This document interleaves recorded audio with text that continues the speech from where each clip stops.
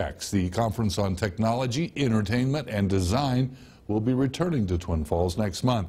Last year was the inaugural year for the conference here locally, and their license limited them to just 100 guests. This year, there will be no limit to the number of participants, and the theme is The Future is Human. 14 guest speakers will be on site to talk about various topics that impact the Magic Valley, like refugee resettlement, handicap accessibility, and intergenerational trauma. I think people come to the TEDx conferences because they want to have good conversations, whether they agree or don't agree with the topics presented, because some of them are controversial. If the program continues to grow and gain traction, there is a possibility of opening up an occasional smaller event called salons, which will address individual topics. All of the details and links are over at kmvt.com.